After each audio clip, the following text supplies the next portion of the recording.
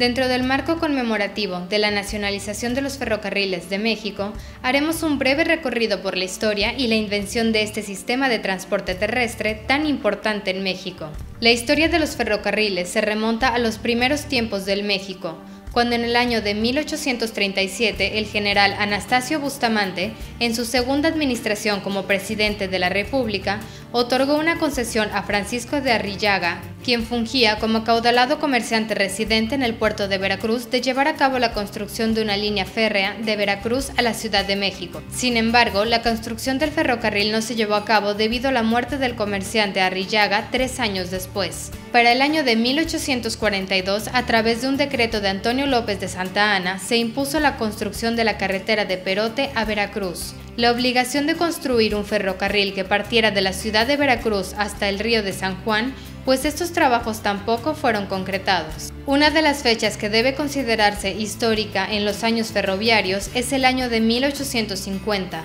ya que fue en esta fecha cuando una locomotora belga de vapor llamada La Veracruzana recorrió un tramo de aproximadamente 13 kilómetros que iban del puerto de Veracruz a El Molino, siendo así esta la primera vez que el ferrocarril llegaba a México. La implementación del ferrocarril en México no solo creó beneficios para la comunicación del país y la promoción de su desarrollo económico, sino que también creó ventajas para las personas que se movían de un lugar a otro buscando mejores oportunidades. Se mejoró la transportación de todo tipo de productos hacia los mercados nacionales e internacionales y se crearon nuevas fuentes de empleo. El auge de la construcción de los ferrocarriles llegó durante el régimen de Porfirio Díaz quien a través del otorgamiento de contratos a empresas extranjeras logró atraer los recursos para construir una red ferroviaria que abarcó gran parte del territorio nacional. En el año de 1937, el presidente Lázaro Cárdenas decretó la expropiación de los intereses minoritarios de los ferrocarriles nacionales de México,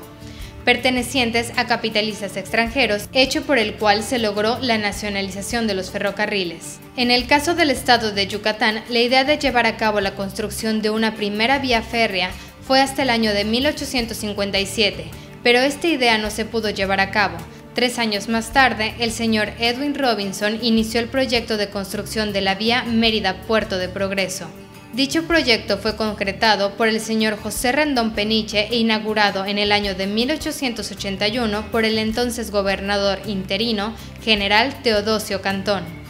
Durante la gubernatura de Francisco Cantón en el año de 1898 se inauguran las rutas Mérida-Campeche,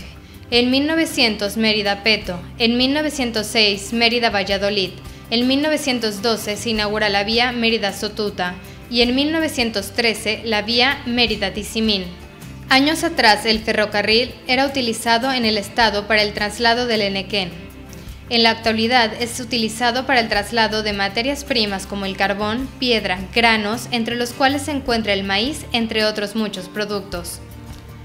Parte de la historia del ferrocarril en el sureste mexicano puede ser encontrada en el Museo de los Ferrocarriles de Yucatán, museo en el cual se exhiben locomotoras, vagones, cabuces y furgones que relatan la historia del ferrocarril en el estado. La importancia de recordar los grandes beneficios que se obtuvieron a través de la implementación de los ferrocarriles tanto en el país como en el estado nace de la conmemoración de un día 23 de junio de 1937 cuando se llevó a cabo la nacionalización de los ferrocarriles de México.